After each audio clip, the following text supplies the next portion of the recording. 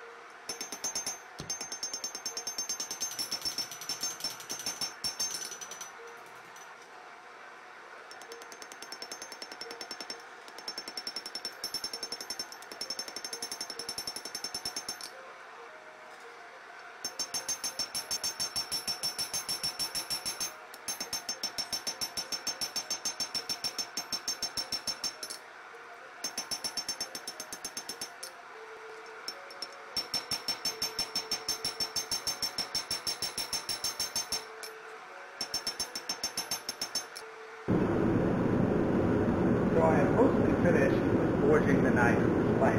Still have another couple of heats to do. Still a little thick, so I think I can stretch this out and make it longer and more slender. But that's probably only going to take one or two more heats. After that, we'll begin forging the metal, which is the body. But